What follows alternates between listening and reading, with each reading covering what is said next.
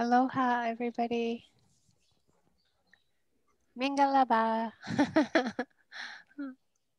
Welcome to the Sunday Sit.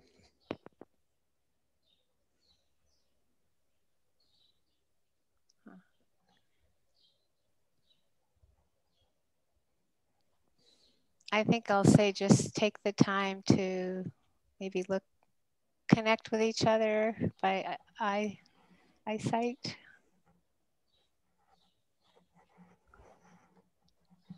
Hello. Good to see you all. What a range of time zones. hmm. Hey.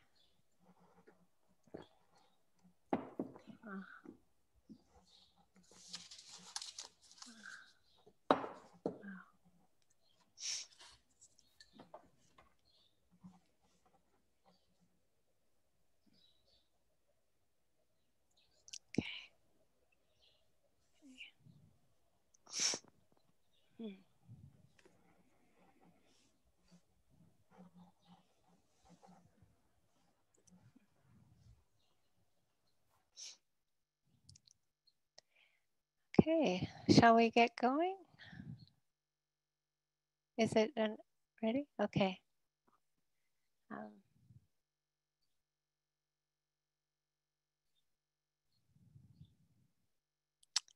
I, I kind of felt like it might be helpful to just uh, become aware if you feel uh, connected with yourself or disconnected. Uh, and just just to start there to just notice that without judgment just to notice if you feel rushed or frazzled or calm connected disconnected. And of course then to start to um, let your attention land around your body the surface of your skin come inside your body. Just easy, kind of slide in.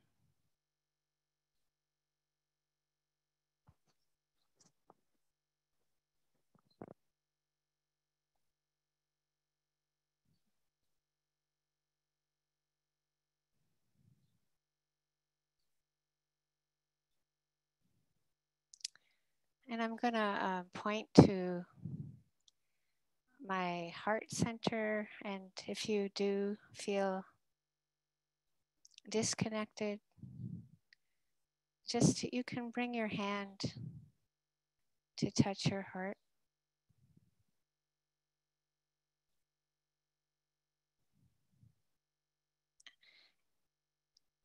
And this is very simple. It's just to receive the touch there, the contact there and to see if just that touching and receiving the touching, if you feel any connection with yourself there.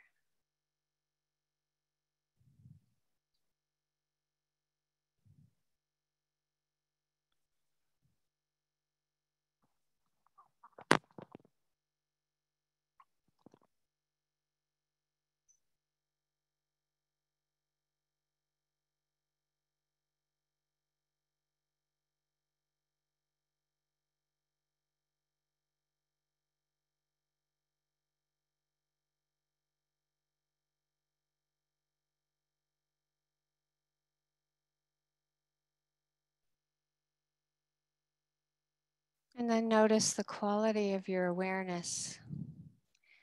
And notice if that contact there, the connecting there with your hands, receiving the touch, if there can be any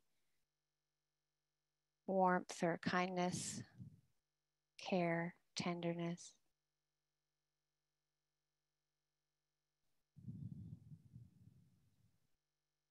And just take a few breaths in and out of your heart center there.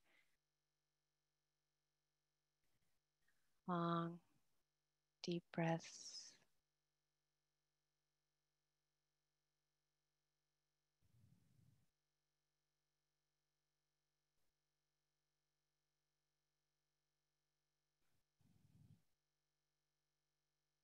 And notice if you can feel any um,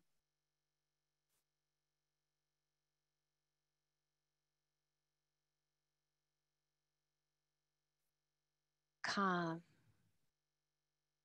experiencing ease from the connection.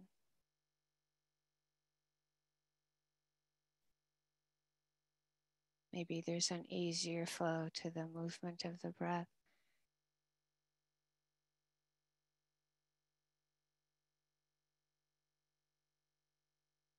And then, if you can bring your awareness to your hands and just bring the hands together so that the thumbs are touching each other.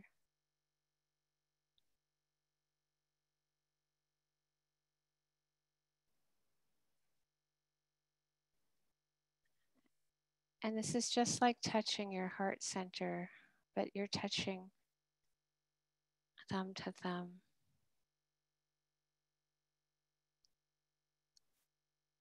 Feeling the connection there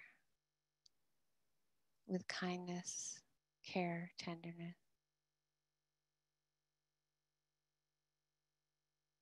And just see if you can receive that, the goodness of that there any well being.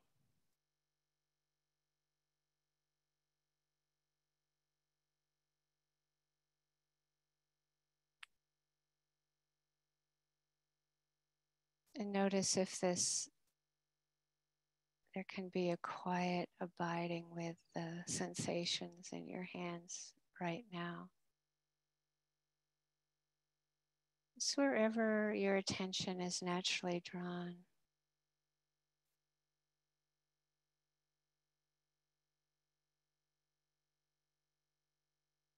noticing that there is, we call this connecting with the body sensations, touching, touching.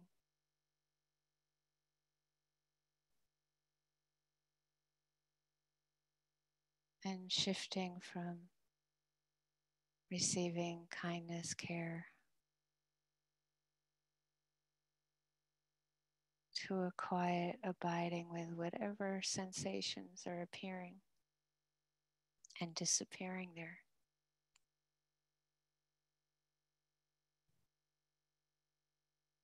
It might be just very light vibrations, textures.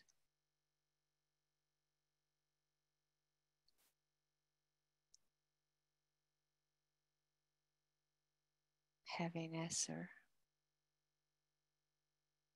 warmth or coolness.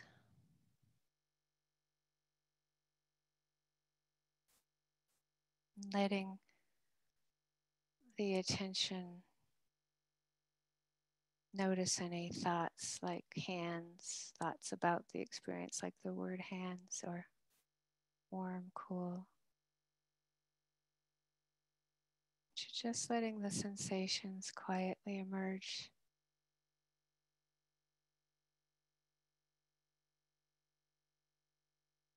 And just distinguishing between any thinking about the sensations.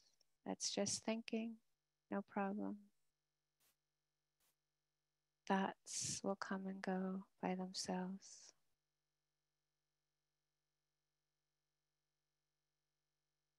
Just bringing the attention to connect with this touching.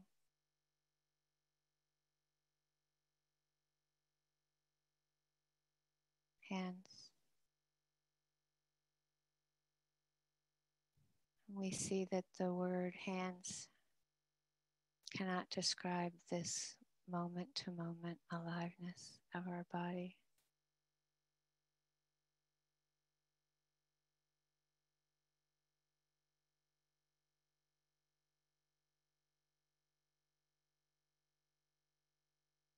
And if you find it helpful, then you can put your hands touching your abdomen or belly. It's the same, it's a contact, connecting, touching.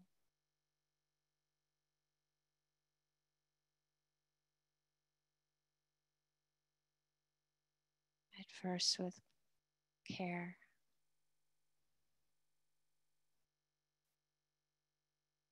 Kindness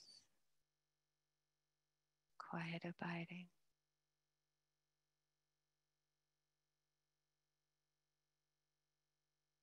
You can sometimes feel the sacredness, the holiness of this movement of breath.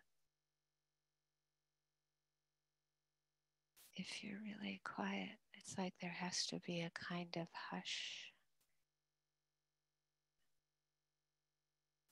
Just receiving this life. Just as it's happening.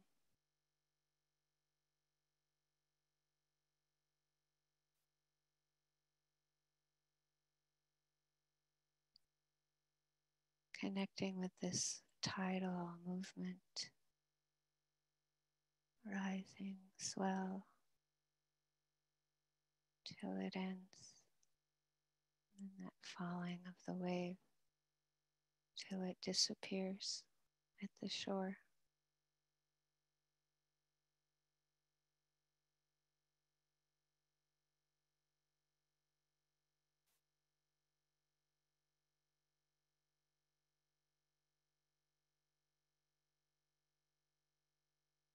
Any words cannot describe this.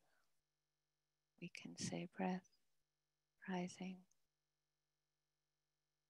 stretching, pressure, vibration, disappearing, particles, waves.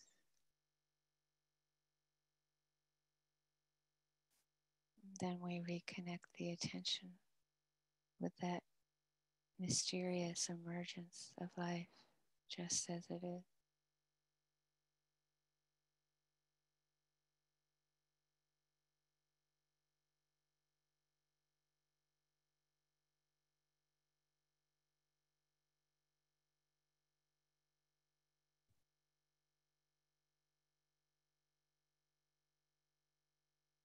Remembering that if any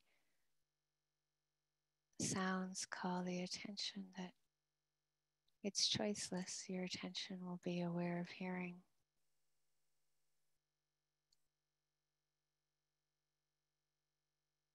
Just like we've been doing the connecting, quiet abiding, that hush of quiet as we receive the life of sound.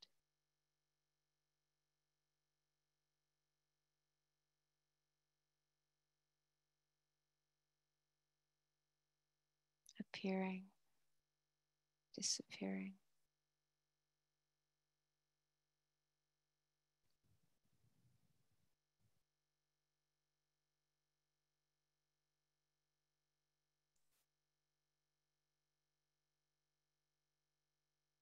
or it could be some sensations in our body call it's choiceless.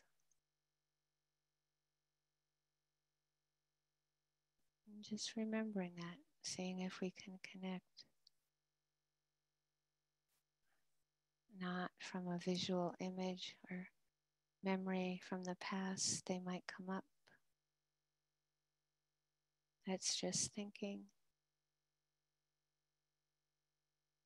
No need to struggle with or push away. You just notice it. thought disappears. Reconnect with that which is calling.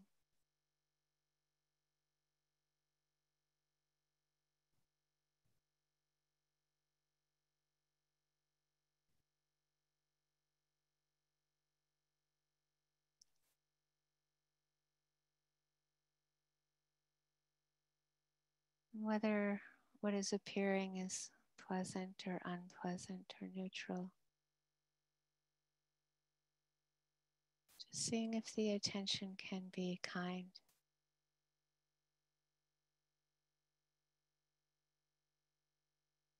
If there's a knee jerk reaction of resistance, it's okay. That's what is calling the attention. That's what's what's apparent or predominant. You just shift to being connected with resistance.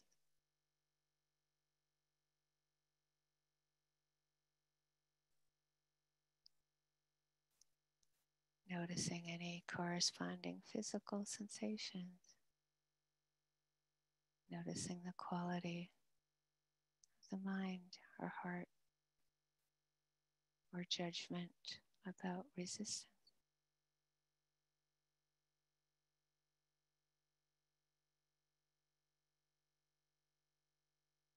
Whatever emotion, pleasant, unpleasant, neutral, that might appear, or thoughts, as well as sounds, body sensations, breath.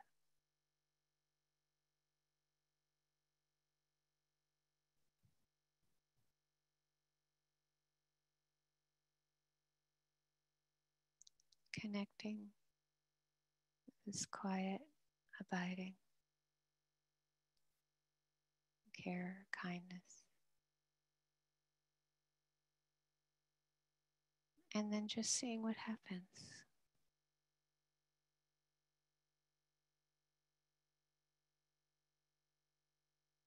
Watching out for any hidden agendas or expectations.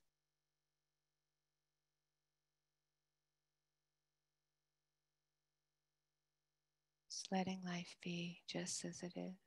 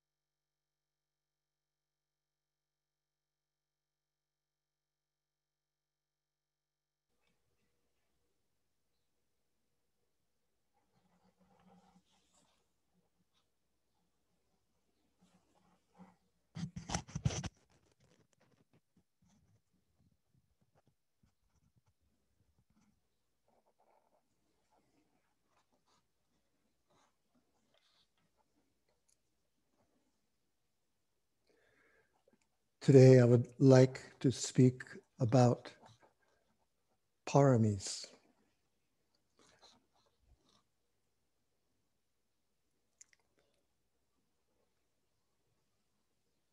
Sometimes parami is translated as uh, the 10 perfections um, or simply as supreme par, param or paramita means um, gone beyond. We can see them as forces of goodness within. And we can see them either as a result or as a cultivation. As a result, it's the experience we have when we're drawn to these teachings, however, we first may have come through inner reflection or reading or hearing Dhamma, eventually learning meditation. The, the fulfillment of this of that process is from previous actions of the paramis. In the Theravada tradition, the way of the elders, the 10 paramis are generosity, uh, sila, non harming, renunciation, wisdom, energy, and patience, truthful, truthfulness, determination, loving kindness, equanimity. All are familiar. All you reflect upon or you experience or you hear in the context of our instructions, uh, Dhamma talks. Uh, each, each one is um, a deep field of merit. Um, and so, as a result, for example,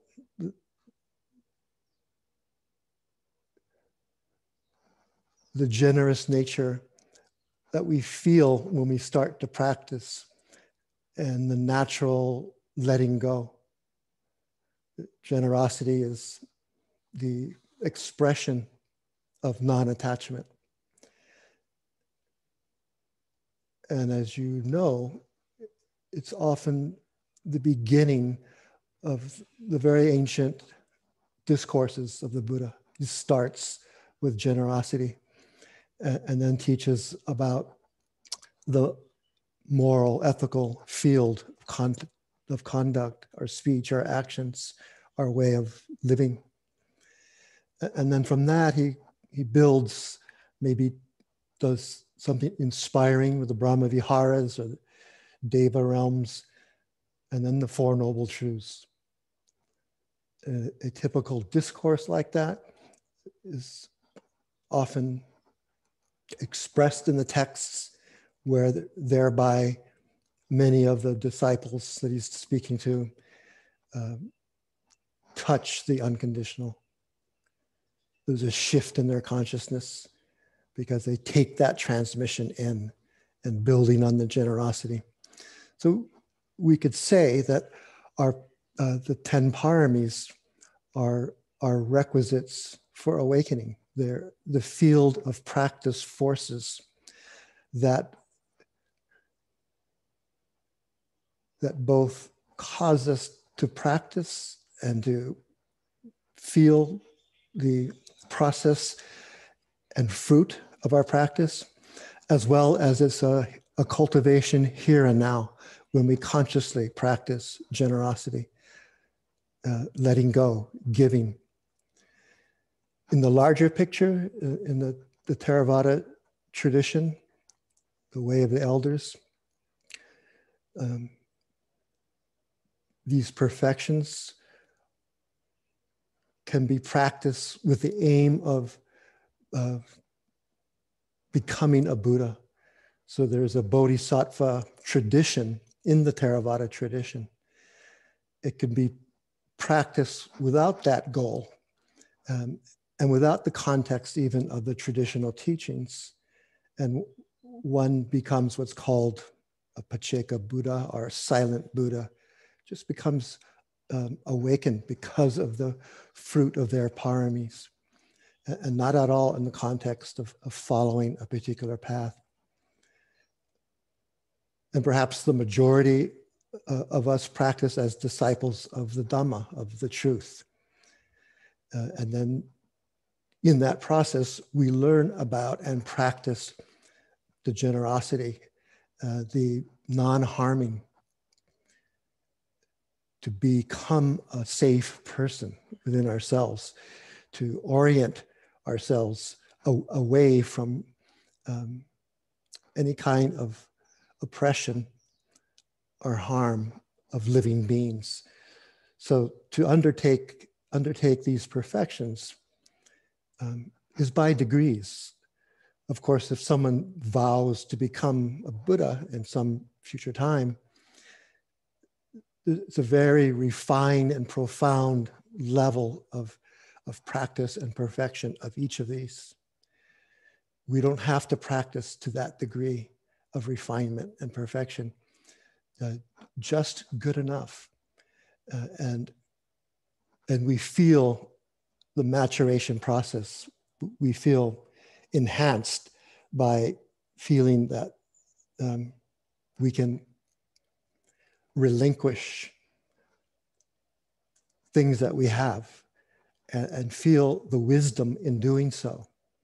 That when we when we practice dana, when we practice our generosity, if we do it with un- understanding the selfless nature of it, understanding the intention of helping others, of caring for the welfare of others, this is its form as a, as a force of goodness, as the dana parami, the generosity uh, surround that we create in our lives. And then it's, it's further developed or fulfilled in sila, becoming a safe person, a selfless person who has the intention not to harm any living beings.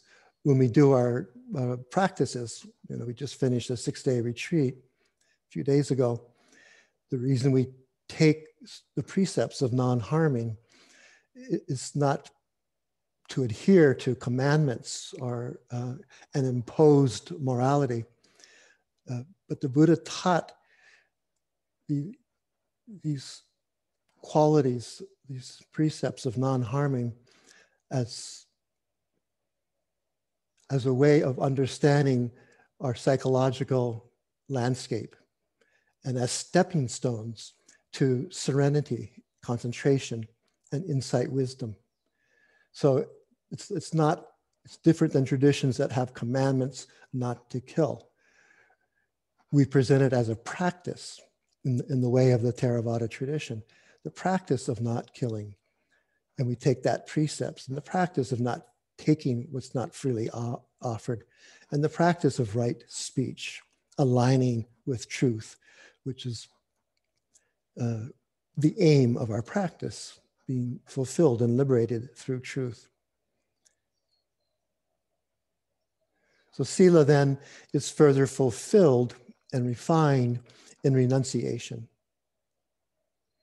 Renunciation is a turning away from the, the obstacles of calm and insight, uh, relinquishing our, our, our ties uh, to be tethered to forces of attachment and aversion. Renunciation is another word for meditation. In that way, it can, it can mean moment to moment letting go, moment to go, moment release. That each time, each parami, uh, when seen in succession in the way I'm talking about them, that generosity is further fulfilled and manifested, expressed in, in non harming, in sila. And that is further refined uh, because we let go or we relinquish our, our tethers to sense attachment to sense, uh, sense pleasures and fear and aversion, repulsion of, of uh, whatever is unpleasant in our experience. And feel that, uh, that spaciousness that comes from the practice of renunciation. That the, it's the ultimate generosity, it's the ultimate gift to ourselves, and with the intention of practicing for the welfare of all beings everywhere. When we finished our retreat the other day, we did a, a sharing of the merit meditation where we acknowledge the accumulated forces, these paramis of generosity, loving kindness, wisdom, and so forth. And then the practice is to share them with all beings, a visceral, felt sense, giving, relinquishment. Does it decrease those forces within us? No, it's just the opposite. It increases us when we relinquish, when we let go. Uh, as each of these paramis are further fulfilled in the meditative mind. And then from renunciation, which is the same as meditation, comes seeing things as they are, the wisdom parami. Uh, renunciation is perfected and purified by seeing the as it is nature of, the, of this body, its sensations, its pains and pleasures. And this very mind and thought formations, emotions, mental moods, and so forth. And how what we how we observe the same in other living beings. The wisdom that understands and works for the welfare of others, motivated by seeing things as they are. And we know that other beings like ourselves uh, face stress and anxiety, you know, all the forms of dukkha uh, because of the changing nature of everything all the time, inwardly and, and outwardly. Part of wisdom is to see both the unique and universal nature of experience. An example of unique nature, uh, particular sensations like pressure, like numbness, like heat, uh, like sensation of expanding or compression. Another example of unique nature is a particular uh, mental mood or emotion, courage or fear, doubt or confidence. Universal nature is that all these unique phenomena physical, mental, what we see, hear, uh, smell, taste, and so forth, are, are all subject to the law of impermanence, the nature of the ephemeral quality of life and the underlying unease about that, unsatisfactoriness, unreliability, the dukkha nature.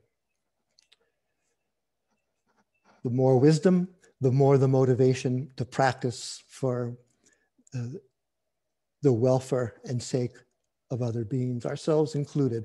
But the orientation is helped by aiming at helping others. That's what, that's what strengthens these forces of goodness, these paramis, and, and takes them to their highest level.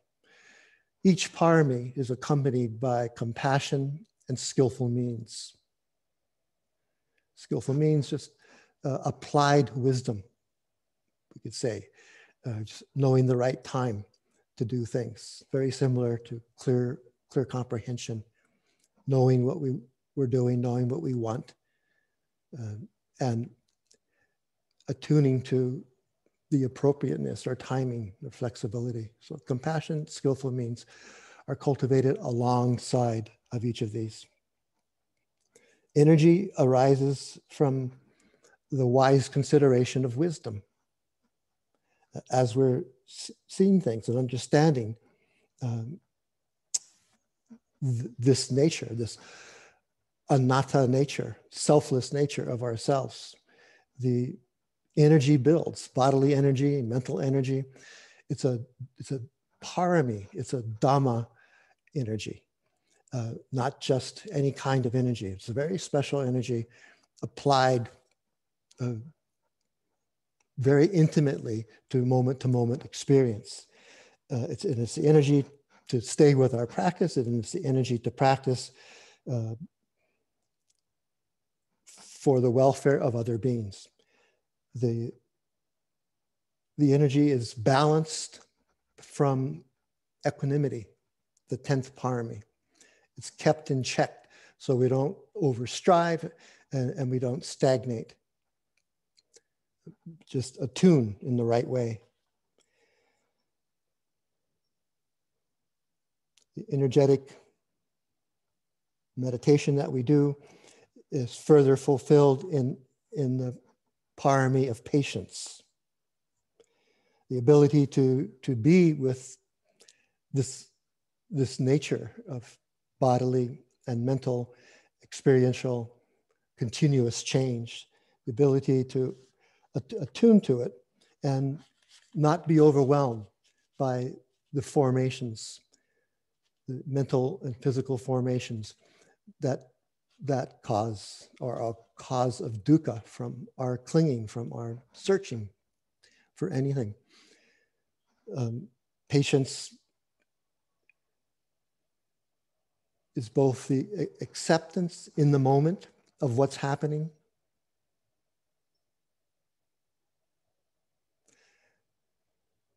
as well as a non-opposition. So whatever's happening, say there's a lot of uh, physical pain or emotional pain, and then also say there's resistance to experiencing that physical pain or emotional pain. Well, acceptance is holding all of that uh, the non-opposition to the resistance so that we understand the, the, the resistance as well as the non-opposition to what it is we're resisting. Painful physical sensations, our unhappy mental states, our uh, difficult uh, experience in, in daily life. During this pandemic era, we're putting all these paramis to practice. They are what are helping hold us together uh, through our own personal practices at home. And when we meet here as a, as a Sangha on Sundays or when we do retreats, it's, it's these, these paramis that uh, establish the base in generosity and further fulfillment in non-harming and the relinquishment that comes from renunciation. Uh, and it's uh, manifestation in wisdom and seeing the as it is nature of things that further that for, further motivates us to practice to alleviate the dukkha. So we're quite aware of what's happening in the pandemic world, even if we only let little bits of it in at a time. Whatever our response is, uh, that is caring or sensitive, or uh, often it's being overwhelmed by it and feeling uh, sad, you know, or feeling the grief, feeling the depression for suffering beings on the planet. But we have these practice tools. So the paramis are, are restorative. If we reflect a little bit on it, use wise reflection, which is a form of the wisdom and use this establishment in patience, the acceptance of what's happening right now, and and the um, uh, non-opposition, so that we create the space to see clearly and act out of that uh, stable space. One of the renowned um, monks of the time of the Buddha, name was Anuruddha uh, and he was sick at one time. He was renowned because he was known for his meditative powers. It's, he was uh, highly enlightened in wisdom, but he also had uh, these concentration powers, and particularly he was known for having the, what's called the divine eye.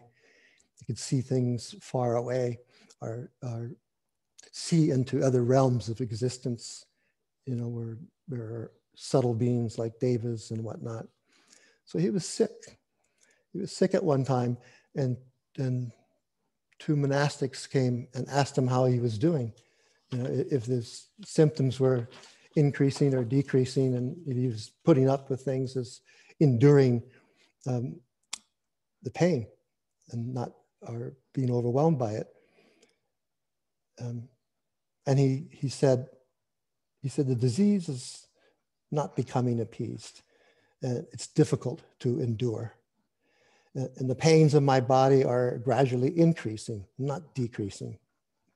He said it's as if a strong person uh, put a rope around the head of a weaker person and, and pulled both ends so tight, so tight that the person was in extreme pain. And Anuruddha said to his monastic friends, my pain exceeds that. And further, it's as if a, um, imagine a, a, butcher cutting open the belly of a cow and taking out the organs. You know, how, how could a cow endure this pain? And Anuruddha said, my belly is now more painful than that of the cow that's being cut up. And thirdly, he said, um, imagine strong persons hanging a weak person over a fire uh, so that that person's feet are roasted.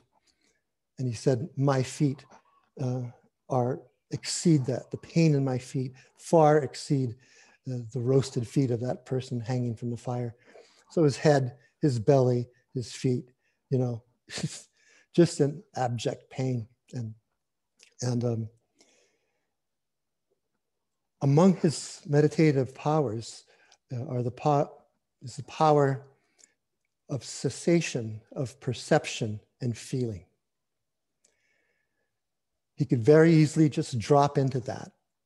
He could very easily be removed from the pain by resolving using determination, uh, the eighth parami, to go into that non uh, perception and non feeling but he doesn't. So even though my body uh, has come to be in such pain, I, I will endure it. I'll endure it with mindfulness and clear comprehension. And, and so he says, the pains arising in the body, uh, I will feel as my pain. I will feel just as they are with mindfulness and clear comprehension. Established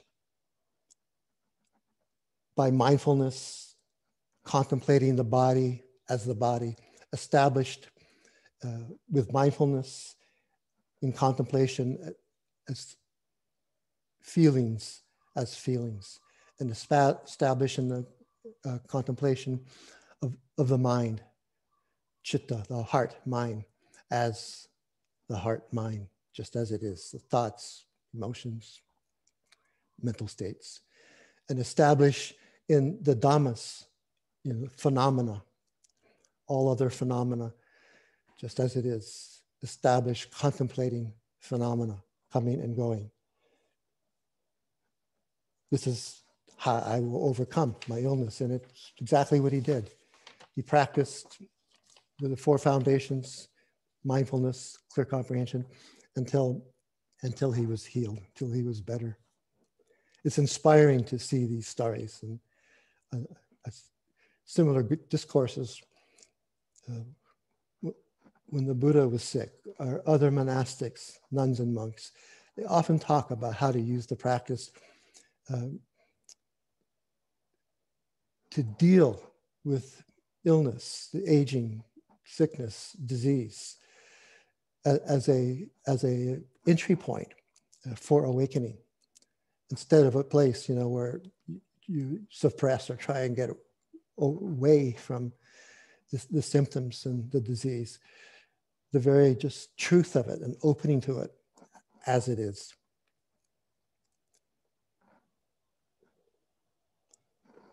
So from, from patience, um,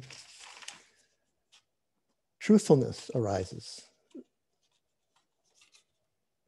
The in, intention toward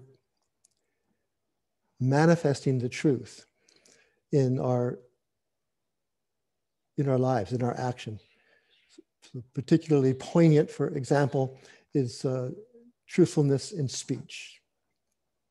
honesty in speech, honest self-assessment that uh, determines and assesses what our motivation is, what what words do we carve out to use, and what's the form of delivery? Is it coming across uh, evenly? Or is it sharp edged? Is it is there motivation behind it of uh, you know pushiness or uh, control, an agenda of manipulation? Looking really honestly at intention and motivation behind the words that, with the truthfulness parami, we're careful how we use the word, the tone and what we use the wor- uh, words, and the underlying int- intention of the speech in terms of its usefulness, appropriateness, and timeliness. Yes, we practice the truth and manifest the truth and speak the truth, but in using our speech, we recognize it uh, as a powerful form of expression and relation and interrelationship with others. So knowing the timeliness of it, just because something is true doesn't mean it's the appropriate time to speak it. We live and express this truthfulness um, through the reflection and acceptance of the anatta nature of beings.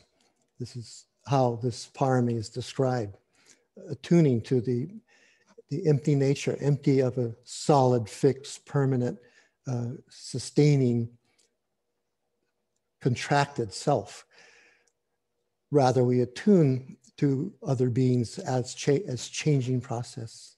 And that attunement uh, helps us understand that all of, like ourselves, all beings are in this process, are, are hurting, are happy, are confused, or clear, just like ourselves.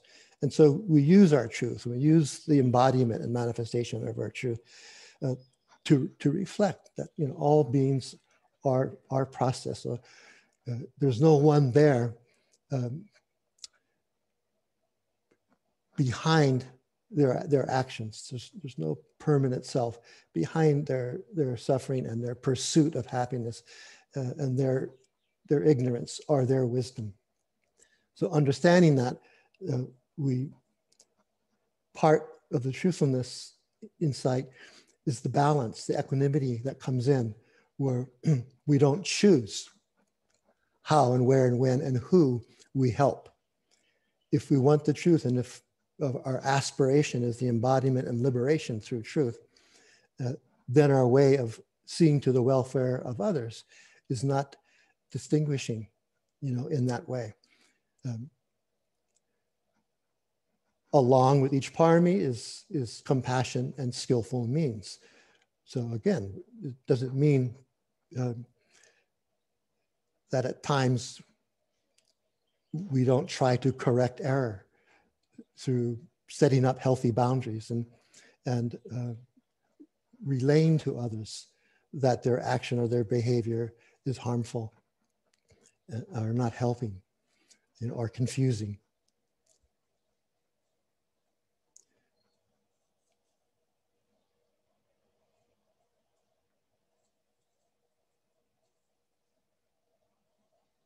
Determination is, is the, as truthfulness matures and, and becomes of an unshakable quality in, in our process, our heart mind. Uh, determination is the, the unshakable commitment to what we do. So in and, the example of truth as skillful speech, mindful speech, um, determination protects that truth, it protects that commitment, that loyalty to what's true and to acting and manifesting what's true skillfully and so forth. Determination is used a lot more than we might realize in practice. Sometimes in retreats, we give little resolves like to resolve to walk, if we're walking from A to B and it's 10 steps, we might make a, a very simple, soft resolve. May the next five steps be with exceptional mindful awareness. Or re- make little resolves. Um, we'll often offer and encourage yogis to make little resolves in, in, in sitting practice when working either with very intense experience, intensely pleasurable or intensely painful, or little resolves that uh, nurture our progress you know, toward more understanding, toward more insight, toward more loving kindness, toward the development you know, of the paramis.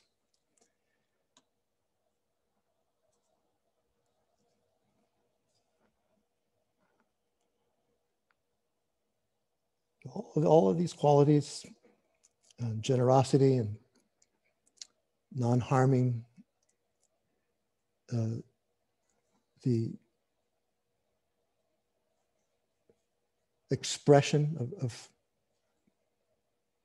non-attachment and renunciation and the ability to start living as we're attuned to things as they are in and out of meditation.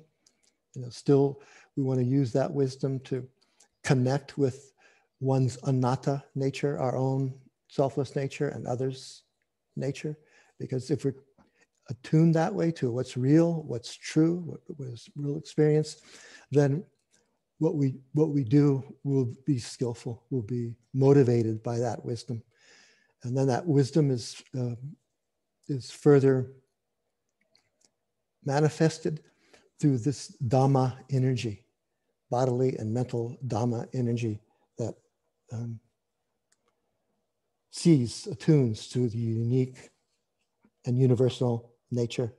And and uh, as a parami becomes more and more balanced more and more refined uh, so like just the slightest little shifts slightest little noticing of our inner workings of our motivation our intention and within the mind process the heart process has a big effect in, in shifting something that was you know, leaning more toward um, attachment to the Dhamma pleasures of concentration and, and, serenity and so forth, you know, and back the other way, back into the middle.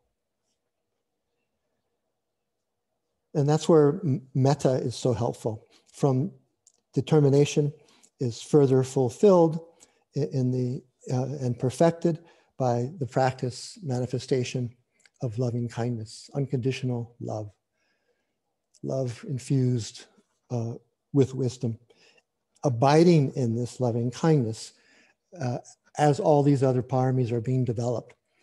It's said that, that metta is the catalyst for all the paramis to awaken and to mature.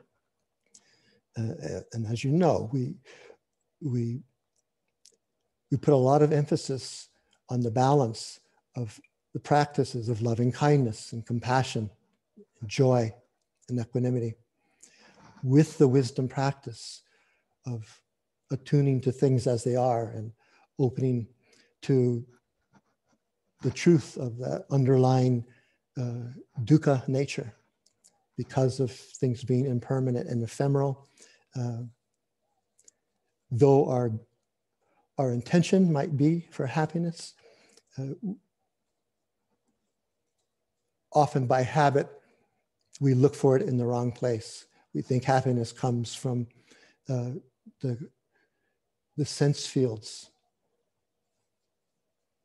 being pleasant or unpleasant experience being suppressed, avoided, and gotten rid of.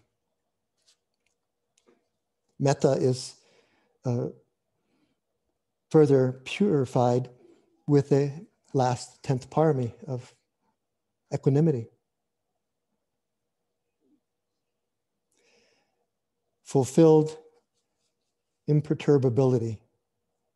That's the manifestation. That's quality of, of equanimity.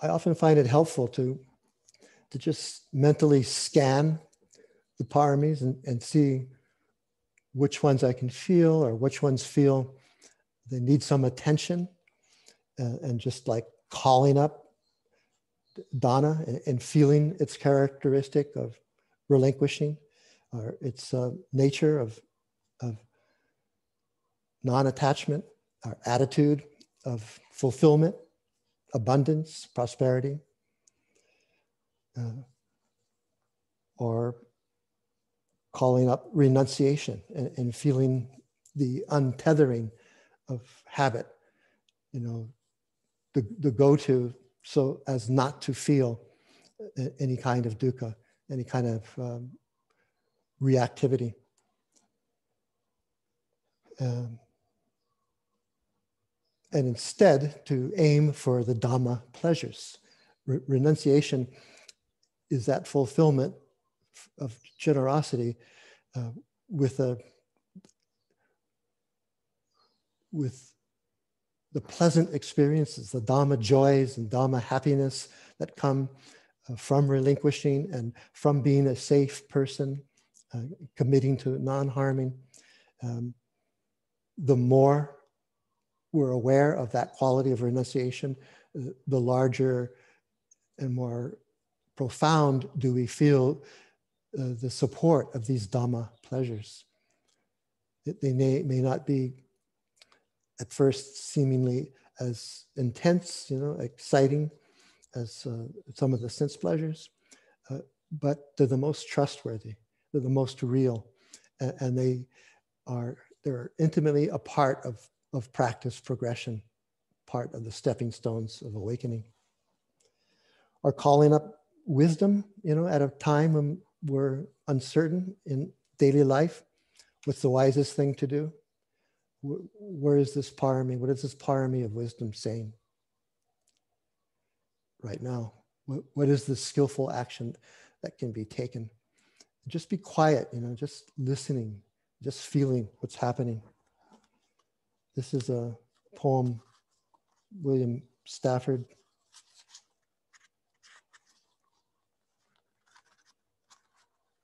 Called Listening. My father could hear a little animal step or a moth in the dark against the stream. And every far sound called the listening out into places where the rest of us had never been.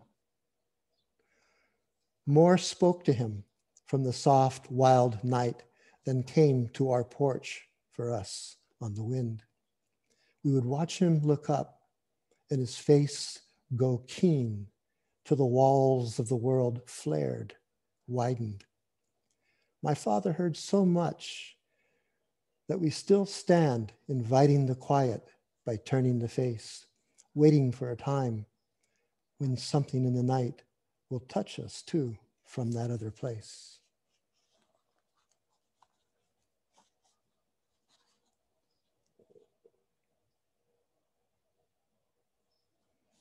Poems sometimes help uh, call up the felt sense of, of, these, of these paramis, like using wise reflection uh, with wisdom to, to experience its manifestation as non-confusion, you know, the opposite of delusion or ignorance, uh, like a guide in the forest, as it's described in the texts, uh, or to reflect on either uh, the collectedness of samadhi or on the Four Noble Truths as the proximate cause uh, for wisdom, liberating wisdom. This is a poem by Anna Swir. A double rapture because there is no me and because I feel how much there is no me.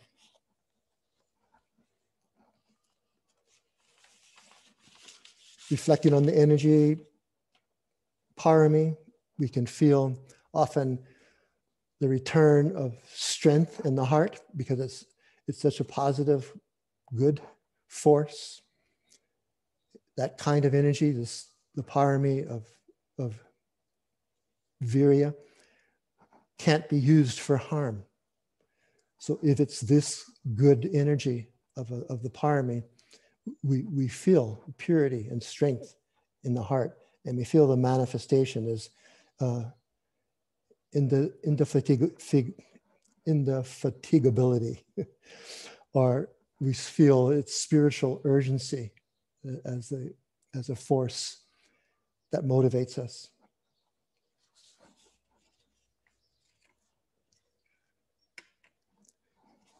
Well,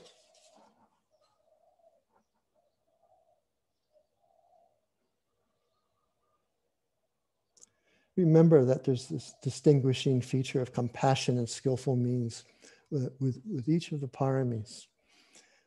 If, if, and if we're, if we're aware of that, how that holds and keeps us close to feeling like the acceptance, the characteristic of patience, our ability to endure the desirable and undesirable.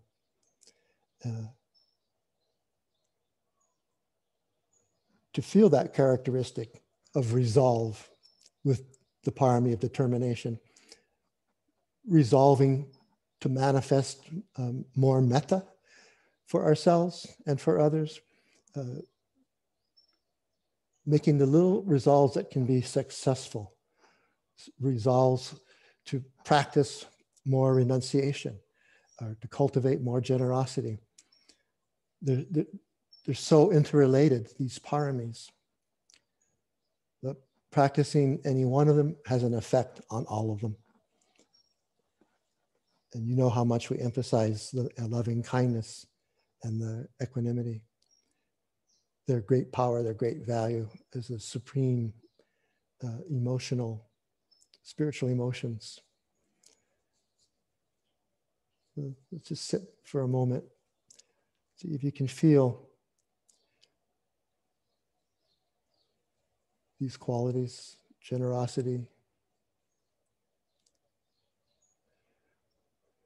the virtue of non harming, parami.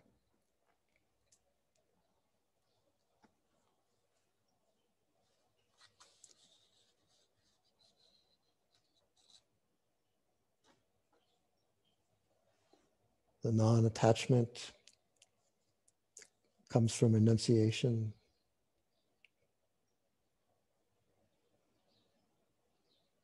clearly connecting with, with seeing the as it is nature, the anicca or anatta nature of beings with the wisdom parami. And that energetic, energetic good quality of courage and strength of heart from the energy parami. Which one speaks to you? Patience, truthfulness,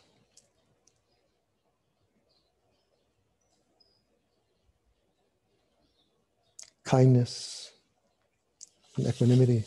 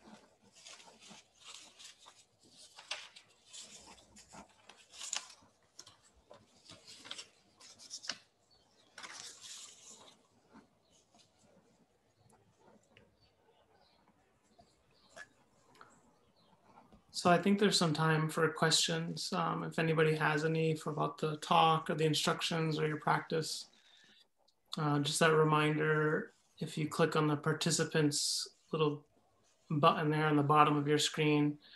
On the right hand side should show up the list of folks, and at the bottom of that, a little blue hand raise button so we can know that if you have a question. Sarah, wow, very late at night over there. Let's see. can you unmute there? There we go. Yes. So hi everyone, and thanks uh, Stephen for the talk and Michele for the invitation. Um, I had a, a question about um, the fact that I um I think I uh, I am scared about the fact that I um you know I, I I'm sorry my English is be, is becoming very poor these days. Uh, so how can I say it? I'm scared about the fact that I want to I, I know that I can build good things, but also in, you know, like quickly, I know that I can destroy a lot of things just because of, um, you know, some fears and the fact that they just, um, um, they just appearing in all of my body and all of my action is, um, is guided by those fears. Um, and I was um, I was actually wondering how um, I mean, I know I, have to practice, but um, how to, you know, just to, to change this a little bit. Because this talk, for example, is really talking to me today because I really feel the, fa- um, the fact that I can hurt people. And and harm them and and i don't want that i don't like that so well it's not really a question but yeah. do you ever see the, the fear side by side with courageous energy in your actions i mean can, can you can you see them kind of both being present without needing to fix or change or get rid of the fear, having the attitude that. Yes, I can see the, to... I, I can see the, the courage that you are talking about, but it's not going in a way um, um, not to harm people. It's actually going in this way. Like it, it's like I want to just you know save my or protect myself and I and I and I need to um, and it's just going in in a way that I, I I will obviously harm someone if I do it this way. So I see the courage, but not in the right way, the right direction. Uh, with the fear. You, so because you you experience the fear as being stronger than the courage. Having yeah, exactly. Yes. Mm-hmm. Yes. I have a question. Am I, can you hear me? You can hear me. Oh. Yes. Oh, can you hear me? Um, do you mean by harming harming with your speech or do you mean with your action? Hmm. Harming with my speech. But it's it's just because I I, I have this um, my entire body is saying you have to protect yourself right and right. And, and and the next thing is i mean saying something uh, not because i want to harm you know like consciously right. but because i need to protect me and that's it okay so i i think that my a suggestion to try because i think um,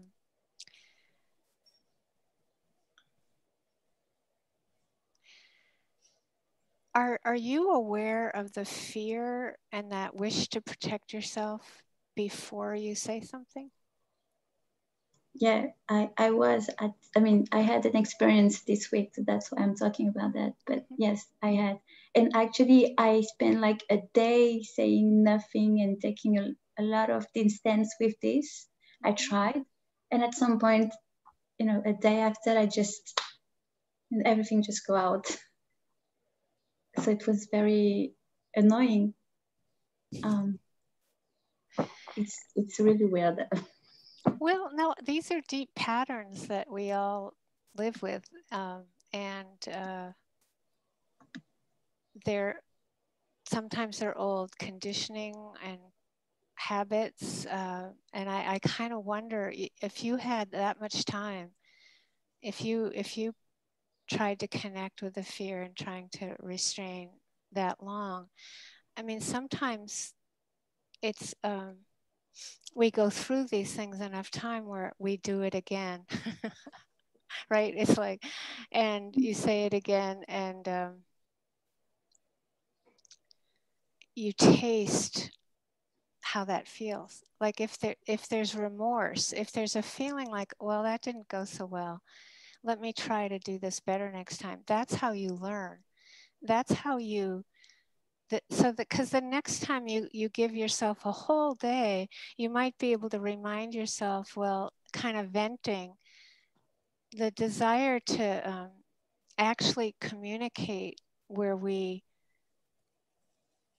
get what we want versus just vent is very very different and that that comes down to the kind of clear comprehension of purpose which is mindfulness and clear comprehension of flexibility or suitability. It could be that um, for some people that feeling of holding back is actually a loss of self. Like there's a it's like in an unhealthy way. There might be some conditioning where if you hold it hold it back that somehow you're going to um, lose yourself. That might be a pattern that's very hard to break.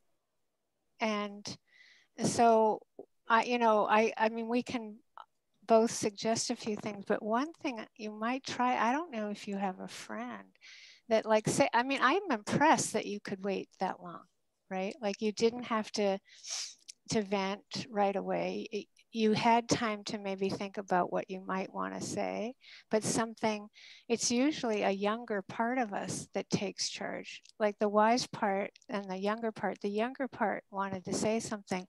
Try saying it to someone else. Okay.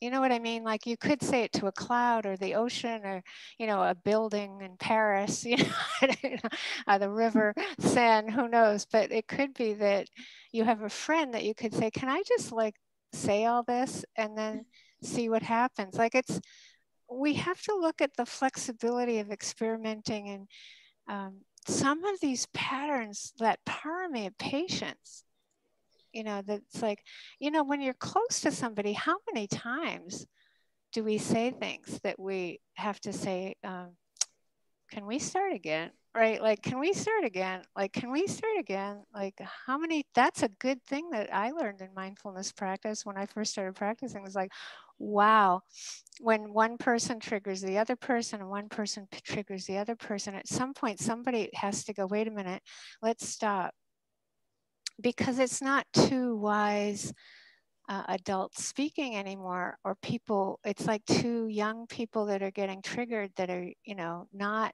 um, that are hurting each other. So it, i think that ability to to ask to start again to speak with somebody else and to um, have a lot of compassion for yourself with this. You're trying you know and and and also remorse does eventually teach us something. But it takes time you know i think about even when steve was talking about the paramis i was just thinking about how after a while I, I i feel claustrophobic in my mask you know that you go out with you know and i'll have to like get back away from everything, kind of take it off, take a few breaths and, and kind of remember that we're all practicing our goodness and p- protection to like put the mask back on and, you know, go do all the things I'm needing to do. But just that sense of um, rather than get frustrated and just this is i'm not i'm giving a different example but it's it's an easier example rather than just say well i'm just going to take it off because it feels good and i don't care right about how i might be hurting other people or myself it's like i remove myself from the situation remind myself of why like protecting others and put it on again. For for you, it's like after you say all that, I think it's helpful and feel like, oh, maybe I didn't get what I want. That's exactly the thing. Huh? Yes, that's that's that's the thing. I didn't get what I want. So that's why it just It did, because that style of communication usually turns people off. They they get mm. defensive. Of course, if you feel attacked, you don't want to listen, and so that's what that's what eventually changed me. Is that I I finally realized actually this isn't working. And also to know when people talk with me at me like that, I also get defensive. So it's it's it's like getting oh when I would rather somebody talk with me in a way that they're expressing what they want skillfully rather than that knee jerk kind of protective defensive energy. Yeah so i think you know when you take that time off try to get in touch with what you really really want. And also get in touch with the part that needs to protect itself the old way and really love and care about and protect and love that part that wants to be protected and then know that you're going to feel vulnerable without it. Right? If you choose to try to be different and not be in the protective old conditioning it might get really scary that's where i would put the courage in the in terms of shifting to being vulnerable. I, I, I know I went on a bit, but I want to say one last thing is that when when I was kind of learning about about this and always keep learning about this, I think the one thing that shifted for me that was hard is that when I finally got to be able to be okay having a need or a want and try to express it skillfully, that doesn't mean you get what you want. I mean, the other part of this is you can do all this and finally like get the guts up to say it and, and do it and try to change. And then like, you don't always, you don't always get what you want, but it's like a much cleaner, healthier, more um, hopeful. It's more hopeful because sometimes you do. And you, and you don't end up um, getting caught in the um, harming. But Sarah, I'm sure everybody's empathizing with this. That we all have, we all have this. Really, just to know that it's. Um, that's why we're in silence on retreat.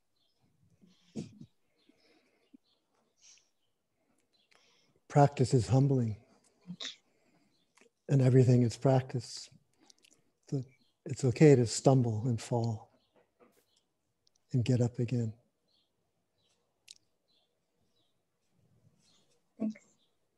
my favorite thing to say. Can we start again? Can we start again?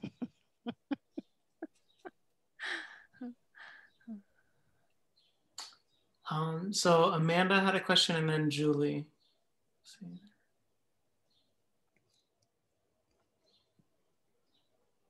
Thank you. Can you hear me okay? Can hear. Great.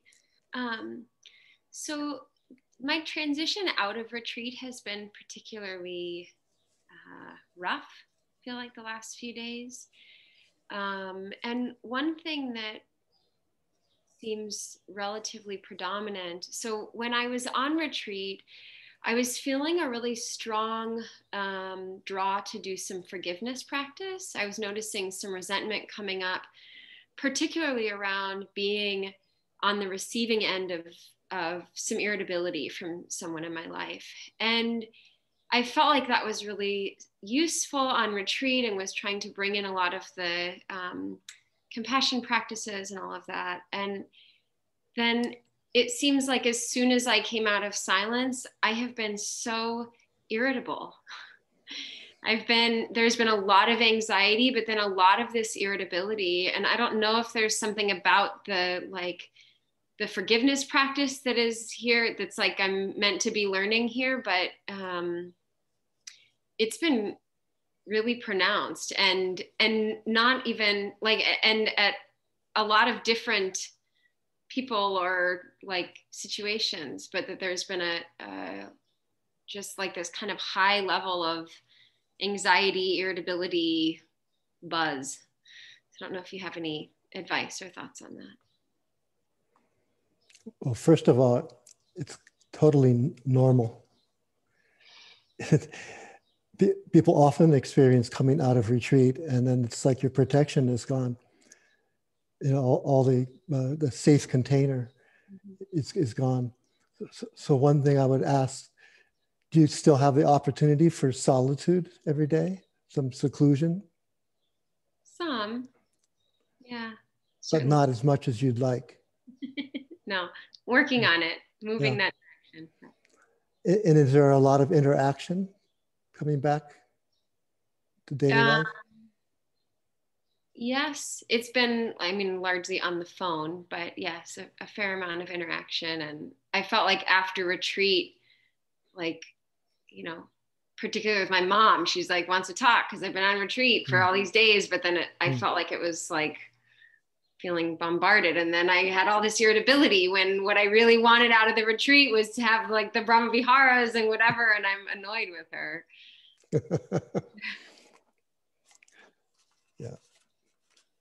The Brahma Viharas are close. Uh, and I understand. Uh, I often had a really similar experience coming out of retreats, even really long retreats, even retreats that were all Brahma Viharas you know, I, I, come out and just seem to be expressing the near and far enemies all the time for some period of time. Uh, but I, I found, I, I found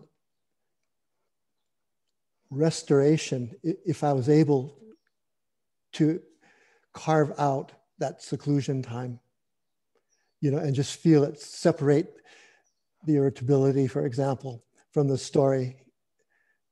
Otherwise the story keeps feeding the irritability be, being able to just feel it as sensation and qualities and how it's you know affecting how you see and hear you know just make big spaces around it when you do have your your solitude um, yeah it's interesting if the, if for some reason you sense the forgiveness was has been a trigger i wonder what that is have you done forgiveness practice in, before? Um, some. I don't some. think this, um, not this much. Yep. Um, it was, I don't know. I've had the experience before where something just keeps kind of coming to the mind and on mm-hmm. retreat, and then it's like, oh, maybe that's what I need to like pivot towards if that just keeps keeps coming up. And so it felt really helpful on retreat um, like it felt really relevant. Um, but then kind of being blindsided by the amount of irritability that that I was experiencing was uh, surprising. Hmm. Remember, it's a practice, so these practices are very purifying. Mm. So the the very opposite comes up of what we're we think oh i want to be forgiving but actually when we do the practice the opposite comes up mm. that's the whole point we you know how i talk about that the purity purification so that we we want the good stuff but actually when you do when you've had a few moments of forgiveness that's going to be like warm soapy water that's washing your heart and mind and it's going to bring out more irritability. Yeah. And and so the retreat, you got quiet, you had, you know, it was a powerful retreat for a lot of people. And a number of people have said they've run into some glitches when they came out. It was a big transition. And it's like, I think I would recommend maybe laying off the forgiveness practice a bit and yeah. switching to compassion or you know just just slow the practice down so it's not you're not drowning in um, the purification. Mm-hmm. Mm-hmm. We it's really funny. We forget. We forget that if you do metta, you get to see a lot of anger. Mm-hmm. And we'll think, well, what's wrong? And it's like nothing's wrong. It's good. It's really good. We do a lot of mindfulness. You start seeing reactivity, and you're like, wow, what happened? Right? I want to be peaceful, but actually, it's bringing out what we need to see. Mm-hmm. And then you slow it down so that you're not unable to work with the irritability. Like Steve is saying, do do what he's saying, which is to shift to being aware of the irritability. Mm-hmm. It's good. It's great. We're all here clapping for you. that non-opposition aspect of patience is really helpful you know, n- not to have aversion for the irritability, for example, because that you might just be feeding it. Uh, whereas that the attitude of non-opposition or acceptance, okay, irritability is here. What does it feel like? Mm-hmm. How am I feeling? What's sensations? How is it affecting other mind states and my consciousness or how I see and how I hear? You know, that kind of investigation openness, spaciousness. Okay, it's just irritability. We used to add on to the phrase, um, like the forgiveness practice, a phrase, uh, if anyone or any being has harmed me knowingly or unknowingly, I forgive them as best I can at this moment in time. You see, like that usually kind of puts a little bit more, right? Getting that sometimes with you know your mother like that's not exactly easy i mean it's like it, it's not like some neighbor five miles down the street that you hardly know your mother's like deep karma so it's going to have both sides yes to take a little dose take little doses mm-hmm. of the forgiveness practice. It sounds power it sounds great and powerful. But no need to drown. Mm-hmm.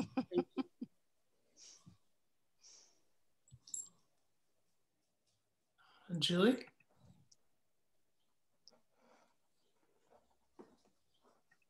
Hi. Um, I think my question is I want to know if I'm understanding aversion correctly. I think I've been assuming that I do, but maybe I don't. um, so I kind of experience it similarly to how I experience feelings, um, where it's kind of like a general mist, kind of like a mist off a waterfall if my sensations or you know, hearing or thought is a waterfall. So, for example, when I was meditating, I was aware that I had a lot of just resistance and aversion. Uh, so then I became curious about, um, like, I started investigating uh, well, what is it that I have so much aversion to? Um, is there more, not necessarily with the idea that you know, just curiosity. And so then I started feeling my body and I couldn't, uh, you know, and as I began feeling my body, the aversion be- and resistance became less. And the aversion was like this kind of just this, like a feeling throughout, like a mist, but it was different than the feeling of the sensations on my body or, you know, anything else. Um, and then I thought, well, there's nothing that I'm feeling that seems so terrible, but I have this strong feeling of aversion. So then I was like, well, what? Then I became confused and started going like, do I know what aversion is? What is it? And I had thoughts like, oh, you know, aversive thoughts like, oh, I always feel so much aversion my whole life. And then, um, uh, and then um, when I asked the question, like, what is there a place for aversion? Like maybe I'm wrong about aversion and it's not like a feeling mist. Maybe it's actually a, a thing, even though I know it's separate from, you know, the negative, positive, neutral thing. So then, um, and then suddenly all my sensations changed and I could just feel these intense aversive sensations. And then I just wondered, is like this is the sensations maybe that's causing this aversion, but aversion is, I still thought, well, aversion's a feeling that's kind of added on to those sensations. I don't have to have aversion to these sensations. So then I just sat kind of investigating this, those sensations. I don't know. So what what do you think of that? And am I doing what I'm supposed to be doing? Am I am I really confused? I think you're doing exactly what you're supposed to be doing. I, I think sometimes you're confusing unpleasant with aversion, or you're not seeing the difference. You're not seeing that you're reacting to something unpleasant.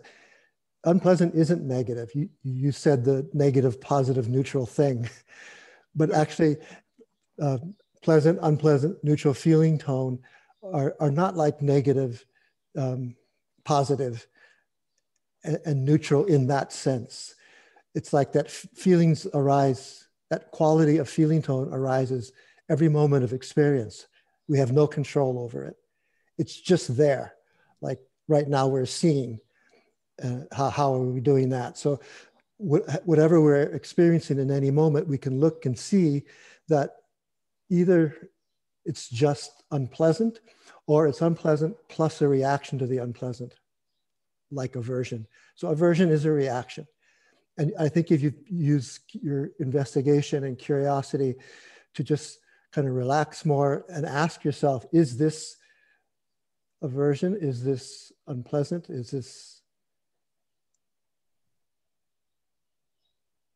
a response that's natural, that's immediate, or is it reactive, where it's a kind of judgment, aversion to the unpleasant, or wanting, you know, attachment to having something pleasant? You see the difference. With pleasant, unpleasant, neutral, awareness of that cultivates awareness and wisdom. Whereas when we're, when we're not investigating and we're not being mindful of it, the feelings cultivate reactivity in the mind, like aversion. You know, I guess I'm kind of wondering, like, what is that reactivity? Like, I, I think I used the wrong words. So, I, what I was trying to say was that, oh, I was having sensations that felt they were like mildly unpleasant, but it was really mild in comparison to this kind of feeling of resistance and aversion. And so then I was like, well, uh, so then I started being investigating, and then I had these intense sensations that felt very unpleasant that seemed to match that feeling of aversion. And then I was like, well, am I creating this? Is this how I'm supposed to be doing this? And like, is this idea of like, I'm wondering, well, like the resistance and the aversion, the kind of pushing away feeling, like it feels primarily like an emotion rather than, so I'm just, does that make sense? like i'm just one, yeah. kind of wondering I, it it all makes sense and i think um, on a on a deep level i would say that thinking you know any of us thinking we know what anything is is not mindfulness like it's like you know how we'll like i was discussing how to be with our hands and being careful of having a visual image and and, and that i thinking we know what something is is usually a cause for not investigating it and being with it in the present. So I'd be careful of thinking that aversion manifests in, in just one way. It will it can manifest as just one little teeny thought, like we might miss it, but it can be oh no, or yuck, or and it might be just that. It might not have any anything else with it. And other times it can be um, manifest, like you say, is more like an emotion. And it's like it'll sometimes it can be very primal and big, and sometimes very little. I think that be careful of doubt. Like what you're describing is sort of a flow of experience that, like as Steve says, it's it's fine. The flow of experience is fine, and thinking you're not understanding it and is um, some of it I think is just practice that you get to know that disliking unpleasantness can manifest in so many different ways. And often it is more like an emotion, for sure. But it's not always. Sometimes it can just be a whisper of a thought. So to, just to be careful of landing on this is how aversion is all the time versus getting familiar with um, not wanting and wanting in relationship to pleasant and unpleasant? You know, it's a very good question and takes time to answer well. It's a really good question. Thank you. Yeah, I think that, yeah, that helps to think that, oh, it's not just one thing. And that actually, yeah. when I think about my experiences, that makes sense because it isn't always this big, huge feeling tone. Sometimes it is just this whisper that disappears. And yeah. for sure. Yeah. Okay. Yeah. And that makes sense that maybe I was getting really, maybe actually doubt was coming up. And that's yeah, why I, I was so. starting to question everything. Because, you know, I was already having all this resistance. So I might as well have doubt too. Well, being an aversion type, I'm, I'm very familiar with this pattern. Yeah. Yeah. Yeah. yeah. Thank you. Yeah. That little whisper in the mind can become very primal very quickly.